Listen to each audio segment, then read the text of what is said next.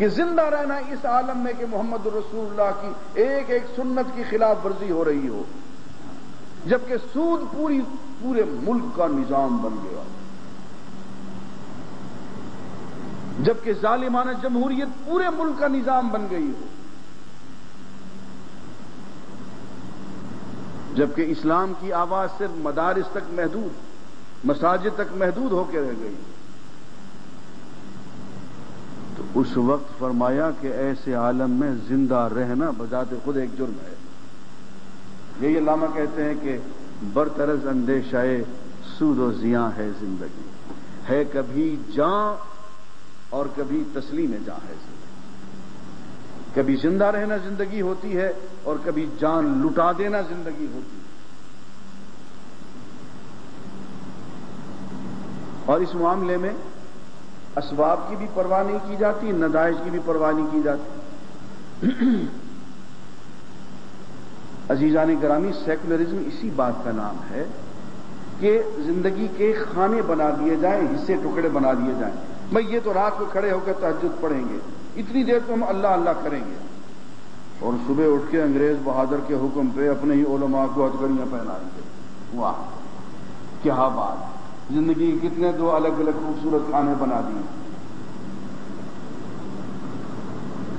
تاغوت اور شیطان کے کہنے پہ دین کی دیواریں بھی مسمار کریں گے، کعبے پہ گولی بھی چلائیں گے۔ رات کو کھڑے کہ اللہ ہو اللہ ہو بھی کریں گے۔ کیا بات ہے؟ سبحان اللہ۔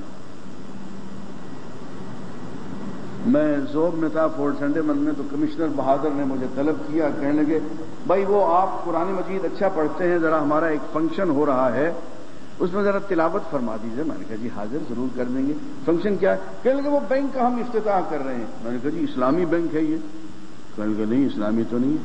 تو میں نے کہا، آپ سود خوری فرمانے کے لیے قرآن خانی فرما رہے ہیں۔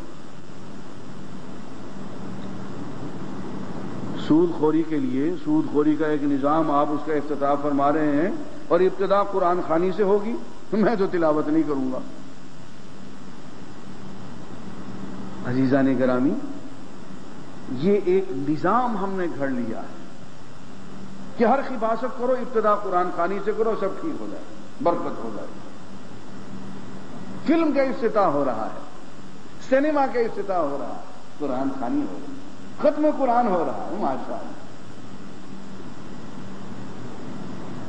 آگے میں نہیں بتاتا، ایک اور منزل بھی ہے۔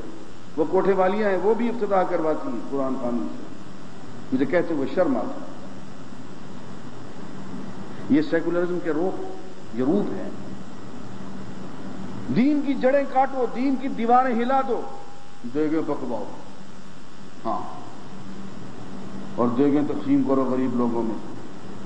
مزاروں کو کسل دو، ان پہ چادریں چڑھاؤ۔ خیرات کے کام کرو۔ مسجدیں بنواؤ، مدرسے بنواؤ۔ درد شروع کراؤ اور ساتھ ساتھ دین کی جڑیں بھی کاٹو۔ یہ سیکولرزم ہے۔ امام نے اسی کے خلاف جہاد بلند کیا۔ اور یہ بات آسانی سے ہر ایک کی سمجھ میں نہیں آتی۔ کہ یار یہ اتنا سخی آدمی، یہ دیگیں پکوانے والا آدمی، یہ چادریں چڑھانے والا آدمی۔ یہ کیسے دین کا مخالف ہو سکتا؟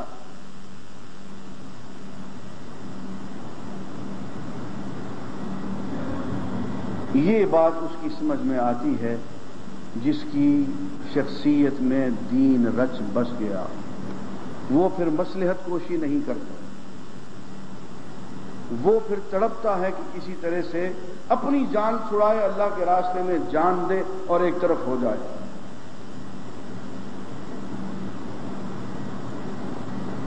جس ڈب سے کوئی مقتل میں گیا، وہ شان سلامت رہتی ہے۔ یہ جان تو آنی جانی ہے، اس جان کی تو کوئی بات نہیں۔ اور ہاں ہری ہے شاخ تمنا، ابھی دبی تو نہیں۔ جگر کی آگ بجھی دبی ہے، ہری ہے شاخ تمنا، ابھی جلی تو نہیں۔ جگر کی آگ دبی ہے، مگر بجھی تو نہیں۔ جو تیغ ظلم سے گردن شہید اعظم کی کٹی ہے برسر میدان، مگر جھکی تو نہیں۔ عزیزان گرامی، یہ ہے ساری کی ساری حسینیت کا پیغام کہ دین کی خاطر قربانی کریں اور دین میں آئیں، پورے کے پورے آئیں۔ یہ پچاس فیصد مسلمان ہو اور پچاس فیصد باہر، یہ منافقت ہے۔ اور دوسری بات یہ ہے کہ دین کا کام کرتے ہوئے یہ منزل آ ضرور جاتی ہے۔ میں اس مرتبہ مینا میں گیا اور مینا میں تقریریں کرنے کا موقع ہوا۔ تو میں نے ایک جگہ کی طرف اشارہ کیا کہ دیکھو، یہ وہ جگہ ہے جہاں آدھی رات کو پورے دن کی محنت سے تھک ہار کے حضرت محمد الرسول اللہ صلی اللہ علیہ وسلم آئے۔ پڑاؤ تھا، ارد گرد خیمے لگے ہوئے، درمیان میں اونٹ بیٹھے ہوئے۔ اور آپ نے پوچھا، بھائی کون لوگ ہو یہاں پہ؟ انہوں نے کہا، ہم بنی خزرج ہیں، یسرف سے آئے ہیں حج کرنے۔ آپ نے فرمایا اچھا میری بات تھوڑی دیر کے لیے بیٹھ کے سنو گے؟ نے کہا جی سن لیں گے۔ آپ نے فرمایا اچھا تو ایک بات بتاؤ۔ میں تمہیں اللہ سے ملانا چاہتا ہوں، اللہ سے ملو گے؟ اللہ کے حضور جھکنا سکھانا چاہتا ہوں۔ اللہ کے حضور جھکنا سیکھو گے؟ اب وہ ایک دوسرے کی طرف دیکھنے لگے۔ کہنے لگے، یار، یہ تو وہی آدمی لگتا ہے جس کے بارے میں ہمیں یہود یسرف بتایا کرتے تھے کہ وہ آنے والا ہے، وہ آیا تو پھر تمہیں دیکھیں گے. یہ تو وہی لگتا ہے۔ سب نے کہا ہاں جی اللہ کے حضور جھکنا سکھا دو۔ اللہ کے حضور جھکیں گے، دین سیکھیں گے۔ یہ بیت اقبا اولا ہے، سب نے بیت کر لی۔ لیکن اس کے بعد آپ کو پتا ہے کہ کئی کربلائیں راستے میں دین قربانی مانگتا ہے، وقت کی، مال کی، جان کی۔ اور ہر گھڑی ہم کسی نہ کسی کربلا میں سے گزر رہے ہوتے ہیں۔ یہ اندر ہر ہر دم جنگ ہو رہی ہوتی ہے۔ کبھی قادسیہ کی جنگ ہو رہی ہوتی ہے، کبھی غزوہ بدر ہو رہا ہوتا ہے، غزوہ خیبر ہو رہا ہوتا ہے۔ اور کبھی سکوت غرناتا ہو رہا ہوتا ہے۔ یہ سب کچھ اندر ہی اندر ہر وقت ہو رہا ہوتا ہے۔ ہم ہر وقت کسی نہ کسی کربلا کی پوزیشن میں ہوتے ہیں اور اب ہم کبھی امام حسین کے لشکر میں ہوتے ہیں اور کبھی یزید کے لشکر میں ہوتے ہیں۔ ان دو باتوں میں سے ایک بات ضرور ہوتی ہے۔ اور دوستو، تقریریں کرنا، ڈرامہ بازی کرنا، اس کی کوئی حقیقت نہیں ہے۔ اصل بات یہ ہے اپنی پوزیشن کا آپ کو بھی اور مجھے بھی ہر دم علم ہونا چاہیے کہ اس وقت میں یزید کے لشکر میں ہوں یا امام حسین کے لشکر میں ہوں؟ نہ یزید کی وہ جفا رہی، نہ زیاد کا وہ ستم رہا، جو رہا تو نام حسین کا، جسے زندہ رکھتی ہے کربلا۔ اور مولانا مودی جوہر نے خوبصورت شعر کہا کہ قتل حسین اصل میں مرگ یزید ہے، اسلام زندہ ہوتا ہے۔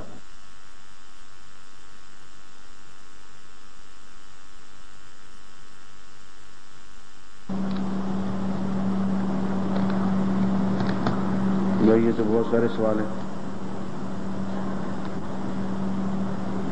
رب المشرقین اور رب المغربین کے تشریف فرما دے، کیوں؟ باقی سارا قرآن سمجھ میں آ گیا۔ اب یہی ایک حصہ رہ گیا، جو متشابہات کا حصہ ہے۔ محکمات سارے سمجھ میں آ گئے، متشابہات سمجھاؤں آپ کو۔ پہلے محکمات پڑھ لیں۔ قرآن مجید میں دو آیت، دو قسم کی آیتیں ہیں۔ ایک ہے محکمات پکی پکی آیتیں، پکے حکم، پکے عقائد، ایک ہے متشابہات۔ وہ احکام جن میں ذرا کوئی شبہ کی گنجائش ہوتی ہے۔ کہ بات یوں بھی ہو سکتی ہے، یوں بھی ہو سکتی ہے، یوں بھی ہو سکتی ہے۔ تو فرمایا کہ وہ لوگ جن کے دلوں میں ٹیڑھ ہوتا ہے، وہ متشابہات کی طرف زیادہ بھاگتے ہیں۔ آپ دیکھیں کہ یہ جتنی فرقہ واریت ہوتی ہے، یہ متشابہات کی وجہ سے ہوتی ہے۔ اگر محکمات پہ توجہ فرما دی جائے تو پھر قواریت کا کوئی سوال نہیں۔ تو متشابہات کے چکر میں نہ پڑیں۔ رب المشرقین دو مشرقوں کا رب رب المغربین دو مغربوں کا رب۔ اب کیا مفہوم ہے ابھی اس کا؟ مجھے تو پتہ نہیں۔ ایمانداری کی بات یہ کہ مجھے پتہ نہیں۔ اس سے زیادہ مشکل ہے کہ رب المشارق و رب المغارب، بہت سی مشرقوں کا رب۔ بہت سی مغربوں کا رب۔ اب مشرقیں تو بہت سی ہوتی ہیں۔ جبھی اگر دنیا کا نقشہ غور سے دیکھیں، تو سورج نکلنے کی جہتیں بے شمار ہیں۔ سورج کئی طرف سے نکلتا ہے۔ اس لیے یہ مسئلہ علمی ہے، اس چکر میں نہ پڑے۔ بہت سی باتیں، بہت سی صفات اللہ تعالیٰ کی ایسی ہوتی ہیں جن کی ہم تشریح نہیں کر سکتے۔ اس کے لیے ایک جملہ بتایا ہے اہل اللہ نے۔ امام مالک کی خدمت میں ایک شخص گیا، اس نے کہا جی یہ آیت سمجھ میں نہیں آ رہی۔ الرحمن علی العرش استوا کہ رحمان اپنے تخت پہ جلوہ افروز ہوا۔ کیسے ہوا؟ رحمان اپنے تخت پہ کس طرح جلوہ افروز ہوا؟ کوئی ہمیں طریقہ بتائیں؟ کیا اس کی شکل ہوگی؟ کیا اس کی کیفیت ہوگی؟ تو امام مالک نے یہ فرمایا کہ الاستوا معلوم والکیف مجہول والسوال عنہ بدعہ۔ اللہ کا، رحمان کا تخت پہ جلوہ افروز ہو جانا معلوم۔ اس کی کیفیت معلوم نہیں۔ اللہ نے بتانا مناسب نہیں سمجھا۔ اب جس چیز کو اللہ نے بتانا مناسب نہیں سمجھا، اس کی کھوج کو ریت کرنا بدت ہے، خام خواہ کی بے وقوفی تو فرمایا کہ یہ جی رب المشارق، رب المغارب، رب المشرقین، رب، یہ سب ایسی باتیں ہیں، اس کے کئی مفہوم نکل سکتے ہیں۔ سارے درست ہو سکتے ہیں، سارے غلط بھی ہو سکتے ہیں۔ اس لیے میں ان چکروں میں نہیں پڑتا سنا ہے، ناپاکی کی حالت میں جتنا زبانی قرآن آتا ہو، اتنا بھی پڑھنا جائز نہیں ہے۔ حالانکہ بہت سے لوگ اس حالت میں بھی پڑھ لیتے ہیں، جو زبانی آتا ہے، کون سا طریقہ صحیح ہے؟ لیکن مجھے یہ بتائیں کہ ناپاکی کی حالت میں مسلسل رہنا کون سا جائز ہے؟ اس سے جان چھڑوائیں، اسی حالت میں قرآن پڑھنے پہ ضد کیوں کر رہے ہیں؟ اس حالت میں اللہ اللہ کر لیں۔ یہ جو بھی ہم نے اللہ اللہ کے ذکر کیا ہے، اس حالت میں یہ کر لیں اور جلد جلد ناپاکی سے باہر آئیں، پھر قرآن پڑھیں۔ آخری کیوں ضد کیوں ہے کہ اسی عالم میں ہی قرآن پڑھنا ہے؟ بہرحال جائز نہیں ہے۔ وراثت کی تقسیم سے پہلے حج کرنا کیسا ہے؟ بھائی، وراثت کی کون سی تقسیم ہوتی؟ یعنی مرنے سے پہلے آدمی وراثت کی تقسیم کر دے، مرنے سے پہلے مر جائے۔ بھائی، وراثت تو مرنے کے بعد ہوتی ہے، مرنے سے پہلے تو نہیں ہوتی۔ تو حج کر لینا چاہیے۔ اور وراثت کو اپنی موت تک مؤخر کر لینا چاہیے۔ پہلے آدمی کو مر لینا چاہیے، پھر وراثت خود خود شرن تقسیم ہو جائے گی۔ وراثت کی تقسیم میرے ہاتھ نہیں ہے اور میرا خامن بھی فوت ہو چکا ہے۔ میں چاہتی ہوں کہ میری اولاد کا حق پہلے مل جائے، تو پھر میں لوں۔ اچھا تو کیا ایسی صورت میں تقسیم سے پہلے حج کرنا صحیح ہے یا نہیں؟ یہ اور مسئلہ ہو گیا۔ مسئلہ بھی ہے کہ خامن فوت ہو گئے۔ جائیداد خامن کی تقسیم نہیں ہوئی ہے۔ تو ہاں اب تقسیم وراثت پہلے ہوگی، حج بعد میں ہوگی۔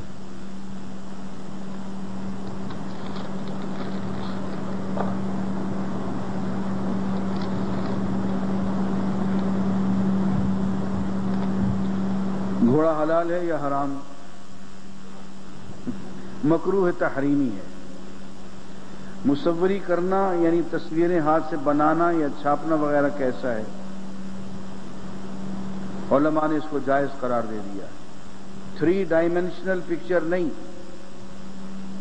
پیپر پکچر ایک ہوتا ہے زی زل جس کا سایہ ہو ڈال تھری ڈائمینشنل جو بت بنتا ہے۔ حضور کے زمانے میں مصوری سے مراد یہ فوٹوگرافی نہیں تھا۔ یہ فوٹوگرافی تھی بھی نہیں اس زمانے میں۔ جسے مصور کہا جاتا تھا، اس سے مراد وہ شخص تھا جو سنگ تراشی کرتا تھا، بت تراشی کرتا تھا، اسے مصور کہتے تھے۔